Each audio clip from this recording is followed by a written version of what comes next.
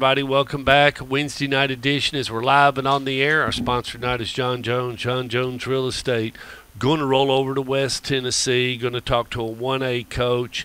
Uh, got in a battle, but he looks like he played pretty hard. He only uh, they only scored 21 points on him, but but they're really good. And uh, uh, he's sitting at one and three. Uh, but that's head coach of the the McEwen Warriors, head coach Rick Rice. How you doing tonight, Coach? I'm good, Stork. How you doing? I'm doing great. I'm doing great. Well, it was a, a big crowd, I'm sure, at McEwen as McKenzie came in Yes, and uh, and uh, 21 to nothing. But uh, take it away, Coach. Uh, talk to us a little bit about the atmosphere this past Friday night. Yeah, it was a pretty good effort. We actually got beat 23 to nothing. Stork. Tw- okay, So, uh, I'm and, uh, sorry. they should, well, they should have really. They should have only had maybe 17 points, but anyway, they they were a good football team. But yeah, the atmosphere was great, and they had a huge crowd. And uh, you know, anytime you got to defend the state champs rolling into town, uh, people's going to kind of be curious, how, see how you're going to compete. And uh, you know, we competed. We competed pretty good, Stork. I was proud of our kids. Um, offensively, we struggled again, but I think a lot of that had to do with McKenzie. You know, uh, we ended up turning the ball over five times and got the ball inside the red zone again a couple times and just couldn't get in the end zone, which that's been pretty much par for the course for us this year.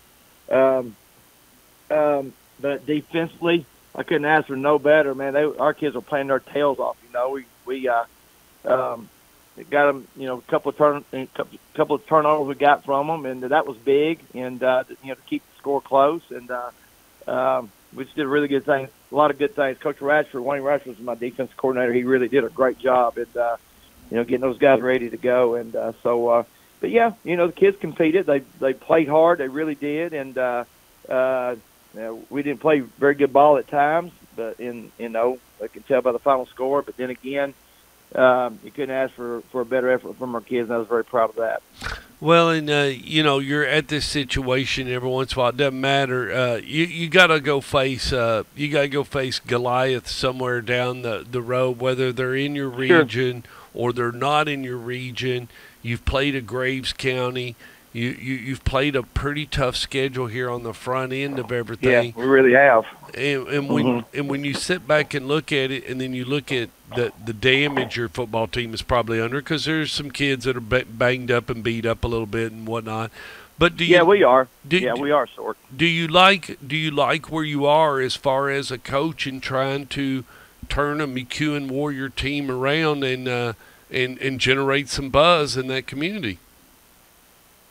Yeah, I, mean, I, I do. I mean, I, I love being home, you know, and I, you know, like being in school. Love being in school every day, and uh, you know, but you know, Stork, it just I tell people, you know, when a new coach comes in, whether whether it's me and or whether it's you know Nick Saban or what, doesn't matter. You know, it, you know, things are not going to happen overnight. You know, I tell people. You know, the ark wasn't built overnight, and, and Rome wasn't built overnight. So that's what I tell people, and I guess a lot of people think I'm a miracle worker, which uh, you know I'm, I'm far from that. Well, we did. You know, we all so, thought uh, you were. That's the reason why we sent you over there, coach. Yeah, yeah. So, uh, but but anyway, I mean, we just got this thing is going to take some time to get it going, and uh, uh, you know, get the kids to, to buy in on what I truly believe, and uh, if they'll do that, then we're going to be successful, Stork. And uh, we do have some good young kids coming, and uh, I got to. I have a, you know, I've only got two seniors this year, Stork. All I've got, and so um, got a kind of a heavy junior bunch, and um, freshman sophomore bunch. I got quite a few kids in that bunch as well. So, uh, um, you know, we're I, I, and I tell people all the time, you know, when a, when a coach comes in like I did, late as I did, hadn't been any type of off season with him. That's where, you know, that's where a lot of old school coaches like me, you know, we got to have those kids in off season, and I got to have off season with these kids. And I think once we do that, I think we'll, we'll see, you know, big strides, you know, big strides in the program, and you know, and everybody always looks at the wins first, you know, of a program, which you know, I understand that, but you know, there's a lot of a lot of more important things than that too, Stuart. But you know, we're if we do if we do the things we're supposed to do and do the right things, and kids buy in and work come to work hard every day, then we're going to get some W's. Well, and and you know you may you may pick up a one or two talented kids as as we all know. The the skill set of basketball and baseball transfers, as I've learned uh, from Scott Kennedy, transfers real well to football. uh, your football skill set Mhm. doesn't transfer to anything other than football.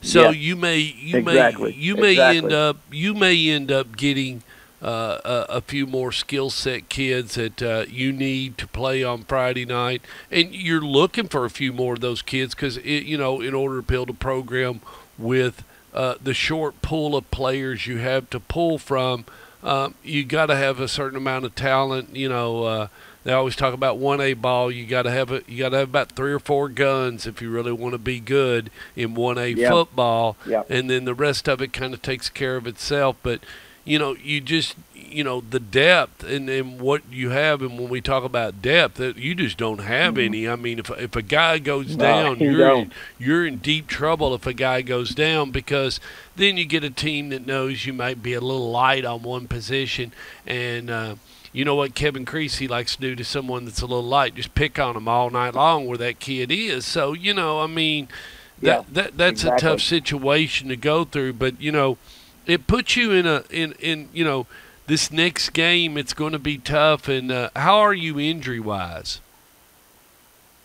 Well, um, uh, you know, I probably lost my best my best athlete. He he, he was a I actually got three singers. Uh, uh, Chris Petty, he's actually my best athlete on the team, and uh, he got hurt up at Graves County, um, and so I think I've lost him for the year. And so uh, uh, we got some guys, you know, got a shoulder, we got a couple of couple of one knee and one ankle. Uh, you know, the kids are just trying to tough it out what they're doing. I appreciate that, and you know, we just take them up and you know prepare them the best we can. But yeah, we're you know we're you know, it's, it's like I told somebody before we before we faced McKenzie last week. I, you know, it looked like a mash unit, you know.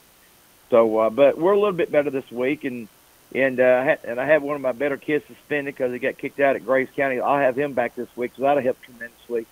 Uh, but you know, we, you know, we, um, you know, heck, Stork. It's like I tell people, you know, if I say you don't have a lot of, you, well, you don't have any depth. I don't say a lot of depth. You don't have any depth in Class A. And uh, like I said, you just gotta you just gotta roll. with, You know what rolls in on the yellow bus every day, and and so. uh But can't can't complain about our kids' effort. It's been been really good, and I foresee us can continue that. You know, Friday night. Well, you know, I was talking to Coach Guthrie, and he said that uh, his dad knew when it was time to get out of coaching when uh, he saw his dad out there for his final game, and there was two kids on the sideline with his dad. That was it. They had 13 football players at Gleason, and Wow. uh, and uh, you know, I mean, you, you you start thinking about it. You know, that is the time I think to get out of coaching. I mean, when you, you Yeah. I mean, you know, I Yeah. mean, I think Yeah. I think uh, I think Coach Guthrie's dad uh, picked the proper time. I mean, but no, I mean, uh, uh, you you, you gotta, Sam Guthrie, good football coach. well, uh, you know, and uh, Sam Guthrie, Coach Guthrie's dad was a good football coach. Yeah, Really? So, uh, yeah, and you know, you saying that, Stork, I, I, I'll, I'll know, I'll know myself. You know, right now I'm, you know, I'm full of, you know, full of. Oh no, I wasn't right trying to get you to retire, Coach. I just I was just No, quoting no, no. when you were talking about I'm- banged up I'm not players and no numbers on the sideline, and you realize you only got two kids on the sideline. I mean, you're down to Yeah. you're down to very little, so you ain't been as bad as Coach Guthrie, is what I was getting ready to say. No, I, I, I, tell you what, a couple of a couple of practices this year when I first got here, Stork, we had had two had 19 kids at one pra- had 18 at one practice and 19 at another, and I'm going, oh man, what in the world am I, am I doing? You know, so uh, but we've got our numbers up. We're up to 38 right now, what we are, so we're in pretty good shape. Well, that's good. That's good. Well, you're going to take on tough one Wayne County, and you talked about this game, and uh, this is a game that uh, McEwen and Wayne County's always been a big one. Uh, uh, what's it What's it going to take to beat these guys? Well, they're big up front. They're physical, just like all the teams I had when I was there with them. Stork, you know, just kids. You know, you know, we was always pretty good, and that's kind of what kind of what Wayne County was known for was our linemen, offensively and defensively. Nothing different. Same type kids. They're big. They're strong. They come off. They try to mash you, and um, uh, got some got some skilled guys. Got some kids that can run a little bit, and uh, you know, I'll tell you what impressed me about them defensively is they got some linebackers that get downhill to the football, and uh, you know that, that's what's really impressed me about these kids. They're not very big; they're kind of small, but man, they are quick and they can get to the football. I've been most impressed with them, you know, by you know from a defense standpoint at linebacker. and so uh, but you know they're good in the D line as well. So uh, it'll be a typical Wayne County team. You know, they'll come in try to try to mash you like like we used to do when I was there, and uh, nothing's really changed, and uh, and we'll have to play. We can't turn it over five times, Stork. We end up the same same boat like we did against McKenzie.